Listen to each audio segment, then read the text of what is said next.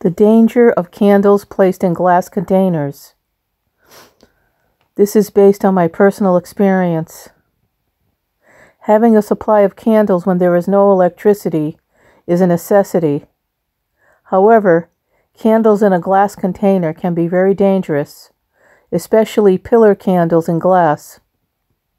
In 1999, while I was preparing for Y2K, when the computers were supposed to shut down, and there would be no electricity, I bought three cases of pillar candles, which had 12 in each case.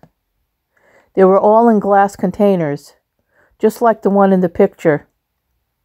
I, te- I tested one candle out, and I think it burned for either about 80 or a 100 hours or more.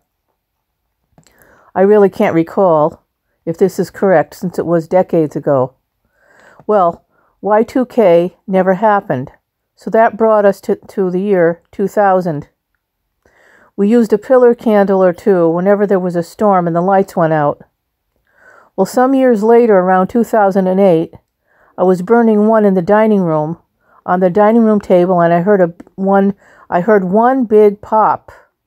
A piece of the glass container cracked and broke off from the heat and traveled like a high-speed bullet across the room.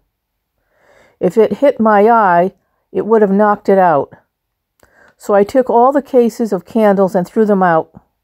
I couldn't believe this happened because the glass container surrounding the candle was very thick. But it did. It did happen. These candles are also sold as prayer candles and are decorated with pictures of saints on the outside part of the glass. I have seen people carry these candles in prayer lines too. These are very dangerous. And this is just my personal opinion. It's up to you whether you want to buy it or not. But um, in my opinion, I wouldn't because I think it's dangerous. I would not recommend using these candles. I also would not recommend using any candles that are in glass containers. The glass might crack and pop off with the heat of the candle and cause your, you bodily harm.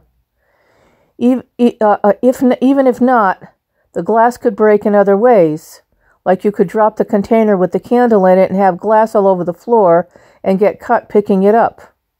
I would say to get rid of all your candles that are in glass containers, especially before some type of crisis happens when you may need them.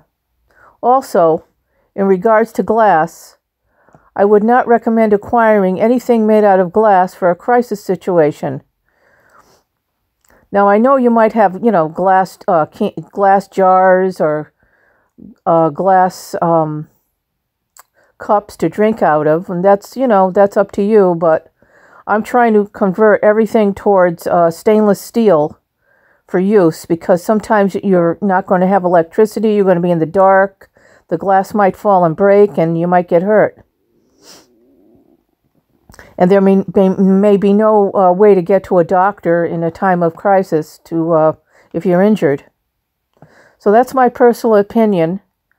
Um, and it's up to you to decide, you know, how you want to um, conduct your life in a survival situation and what types of candles you'd like to buy.